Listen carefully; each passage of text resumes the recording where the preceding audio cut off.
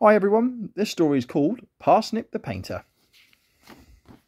Autumn had arrived in Foodland, and the weather was cold, wet, and miserable.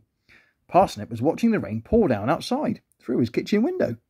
I'm glad I'm in the warm, he thought to himself, and he put the kettle on to make a nice hot cup of tea. Lovely.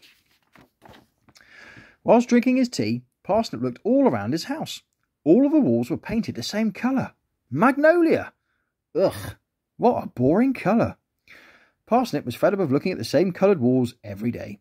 Time to redecorate, he smiled. So he decided to visit Pear's paint shop.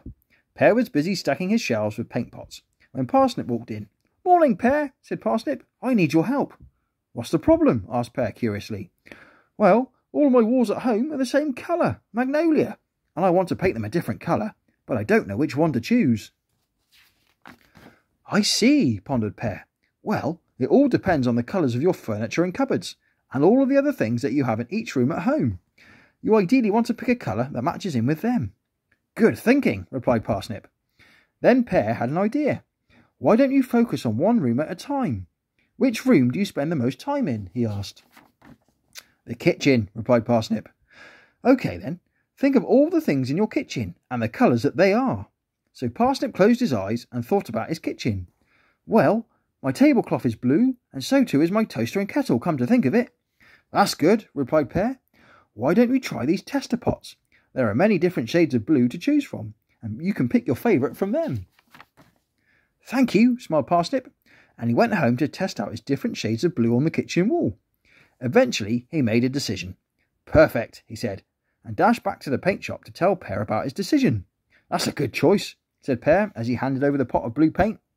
Good luck! Back at home, Parsnip prepared his kitchen for painting. Everything was covered over and packed away. Now he was ready to paint. It didn't take him long to paint his kitchen walls. After that, Parsnip went in every room in his house to pick out different coloured items. He was going to paint the walls all different colours so that no two rooms were the same. What a good idea! Back at the paint shop, Parsnip gave Pear a long list of different coloured paints he wanted, and Pear quickly found all the paints. Thank you, smiled Parsnip happily, and he dashed home quickly. Parsnip painted his bedroom green, his bathroom red, and his living room brown. The hallway was purple, and the study was orange. Parsnip had painted his house using all the colours he could think of, apart from one pink. Now, do you know what Parsnip used the pink paint for? The front door, of course. Ha ha! Once he had finished painting, Parsnip invited his friends to come round and see what he had done. Everyone was very impressed, especially Pear. It was the most colourful house he had ever seen. Soon, Parsnip was asked if he could paint some rooms in some of his friends' houses too, and they asked him to pick the pick the colours too.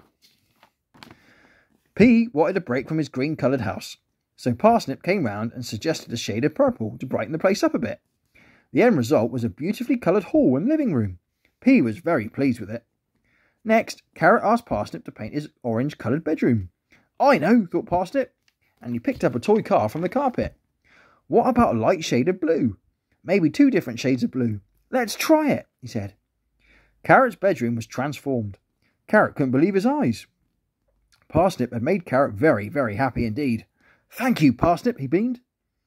Then he painted Pudding's kitchen red and white he painted ba- Bacon's bathroom silver, and Mr. Mash's boat was gold. It wasn't just houses that he was asked to paint now. One morning, Parsnip had a phone call. It was from Mr. Soup. Hello, Parsnip. We'd like you to paint the school, he said. All of it. Ha ha! And that's the end of the story. Hope you enjoyed it. We'll see you again next time.